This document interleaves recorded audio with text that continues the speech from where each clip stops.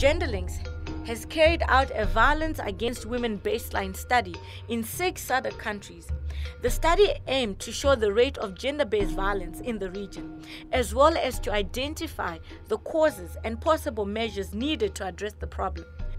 This study shows that between 1 in 4 and 2 in 3 women across the region have experienced some form of violence during their lifetime, whether physical, sexual, verbal, emotional, or economic. The SADC Protocol on Gender and Development in Articles 20 to 25 uh, speaks about gender-based violence and the provisions that the targets that they would like to reach by 2015.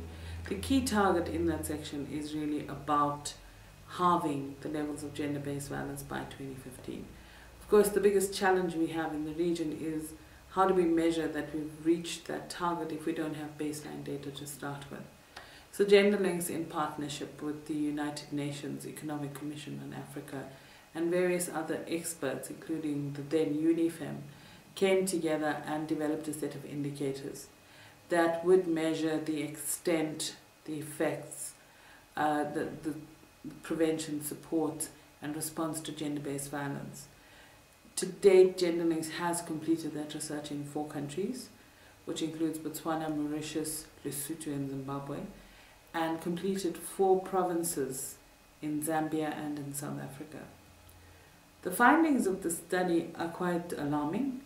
The highest prevalence thus far are in the four provinces of Zambia, and the prevalence of violence amongst women in, the, in Zambia is 89%. It is quite, one struggles to understand what the drivers could be. Um, you know, and what the research is really showing us is that our strategies have to be relooked. For example, we have very strong legal provisions in most of the countries in SADC and policy frameworks. None of those are being implemented effectively. And a key driver, of course, a key problem in all the countries is the lack of budgetary allocations.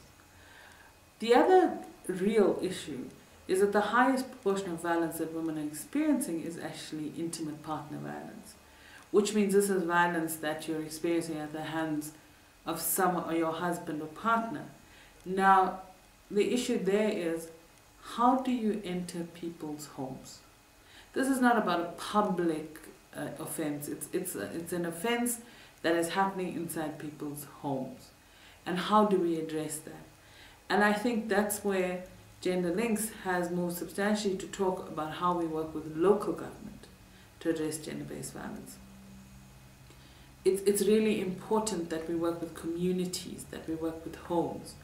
Also, the sort of prevailing wisdom for a long time was that uh, poverty and unemployment were key drivers of gender-based violence. The research is showing that that is actually not the case. Uh, you know, in Botswana, for example, the women who were educated and in employment uh, were the women who had the highest proportion of uh, who experienced the highest proportion of violence, and men in the same category were those who had perpetrated the highest proportion of violence. The biggest driver of gender-based violence is actually experience of those who have perpetrated and experienced were those who had experienced violence as children and that includes childhood physical violence, child neglect, and childhood sexual violence. So, having experienced it, then people normalize it in their minds and believe that's how you live. So, when we speak of the cycle of violence, it's very real, it needs to be broken, and it really requires us to think very strategically about prevention. And prevention at the level of the individual, within families, communities. So, we need to move from that high level policy intervention and legislative intervention to a much more localized, uh, customized solution that will get us into people's homes.